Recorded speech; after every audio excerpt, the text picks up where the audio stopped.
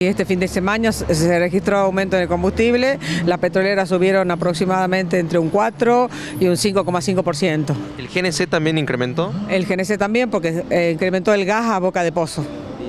Eh, ¿Se espera otro nuevo aumento? ¿Qué es lo que se habló últimamente?